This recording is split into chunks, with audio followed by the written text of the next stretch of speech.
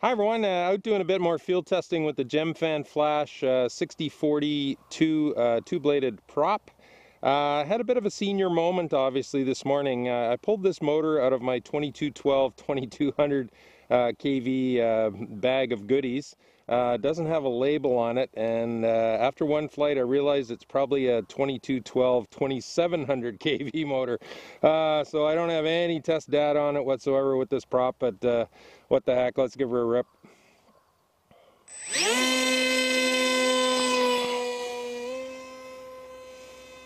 so right off the bat I I, I uh, on the first flight I realized hmm that's going pretty fast at half throttle and you know really really rips right out.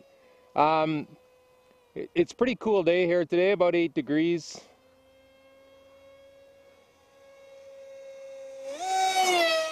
Nice. you know, these motors, uh, these 2212 5T 2700 kV motors are, are cheap as chips, as the saying goes. Wind her out. And, uh, um, you know, I've, I've punished the living daylights out of some of them. Probably including this one. I think I might have actually uh, melted the label right off it, which is why it's not there anymore. but yeah, that's some serious giddy up for a motor you can get for about five or six bucks. Uh, on 3S, uh, running the Turnigy Plush 40 amp speed controller with uh, default settings, so the timing low, because I thought I was going to be testing the uh, the 2212 uh, 2200.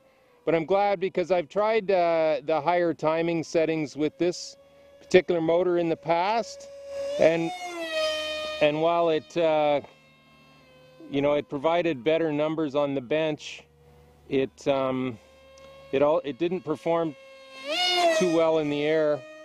Uh, you know, problems with desyncing and skipping. Golly, that thing rips.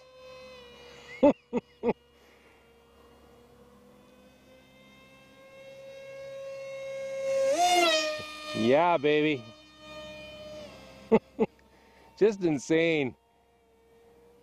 Uh, I'm really, really liking this Gemfan uh, Flash uh, 50 or 60 42 by 2 prop. Uh, early days yet, but I'm thinking it's starting to become my favorite 6 inch 2 blade prop on 3S.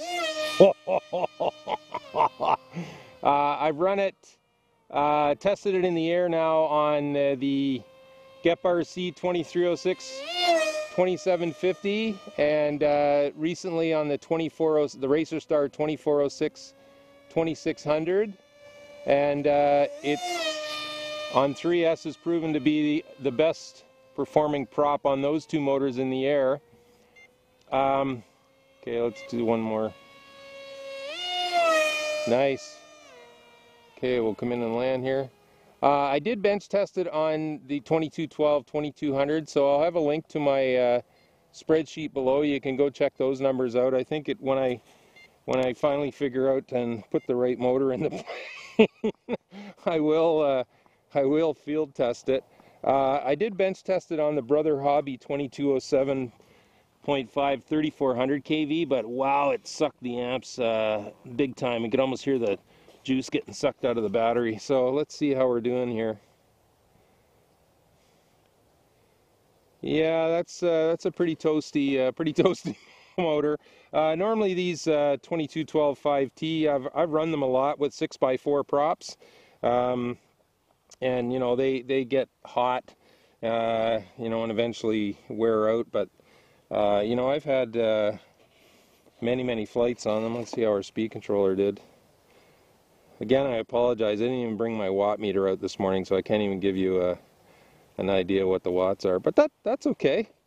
So yeah, so there's uh, I guess unbeknownst to me, due to my buffoonery, uh, that's a really hot, uh, hot little combo. I mean, you know, hot. Uh, the motor's running pretty warm, but uh, you know, these motors, uh, as cheap as they are, uh, inexpensive as they are, they can take a heck of a lot of punishment. So, yeah, so there we go. So I guess now my homework is to go home over the next couple of days and actually bench test this motor and uh, uh, figure out, you know, the amps and all that sort of stuff. But uh, as you saw there in the air, she she really smokes along for you know, for a very inexpensive motor.